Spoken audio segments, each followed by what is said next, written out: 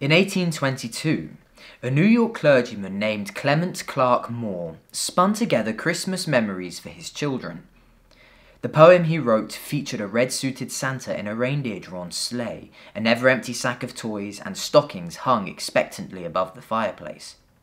He called it A Visit from St. Nicholas. And it was then published anonymously in a newspaper in Troy, New York. It captured the public's imagination the poem's opening line, "'Twas the night before Christmas, soon replaced the original title. One reason Moore's poem has endured is that it is a joy to read aloud. Beginning in a hushed suspense, the poem builds to a dramatic crescendo as the rollicking verses usher in the mysterious midnight visitor. A tale of anticipation and wonder. The night before Christmas has become a holiday tradition in itself for many families. So, as you listen to these pages, whether for a first Christmas or to recall those past, celebrate and share the timeless joys of this enchanting holiday.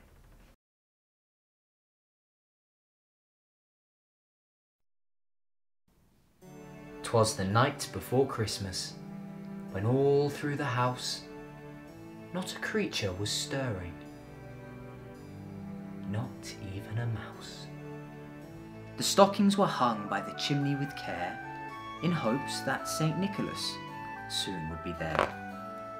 The children were nestled all snug in their beds, while visions of sugar plums danced in their heads.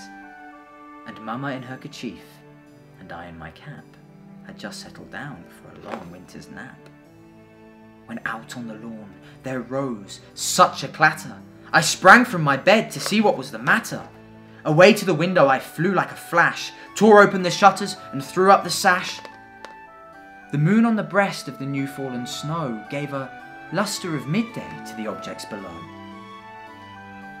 And what to my wondering eyes should appear but a miniature sleigh and eight tiny reindeer.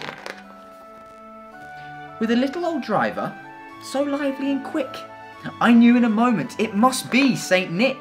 More rapid than eagles his coursers they came, and he whistled and shouted and called them by name. Now, Dasher! Now, Dancer! Now, Prancer and Vixen! On Comet! On Cupid! On Donder and Blitzen!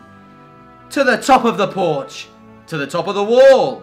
Now, dash away! Dash away! Dash away all!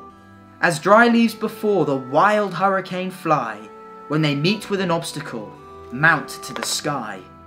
So up to the housetop the coursers they flew, with sleigh full of toys, and St. Nicholas too. And then in a twinkling I heard on the roof the prancing and pawing of each little hoof.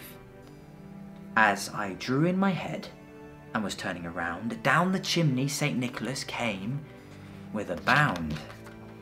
He was dressed all in fur from his head to his foot, and his clothes were all tarnished with ashes and soot. A bundle of toys he had flung on his back, and he looked like a peddler opening his pack. His eyes, how they twinkled, his dimples, how merry. His cheeks were like roses, his nose like a cherry. His droll little mouth was drawn up like a bow, and the beard on his chin was as white as the snow. The stump of a pipe he held tight in his teeth, and the smoke, it encircled his head like a wreath. He had a broad face, and a little round belly that shook when he laughed like a bowl full of jelly. He was chubby and plump, a right jolly old elf, and I laughed when I saw him, in spite of myself. A wink of his eye and a twist of his head soon gave me to know there was nothing to dread. He spoke not a word, but went straight to his work, and filled all the stockings, then turned with a jerk, and laying his finger aside of his nose, and giving a nod, up the chimney he rose. He sprang to his sleigh, to his team gave a whistle, and away they all flew, like the down of a thistle. But I heard him exclaim as he drove out of sight, Merry Christmas to all, and to all a good night.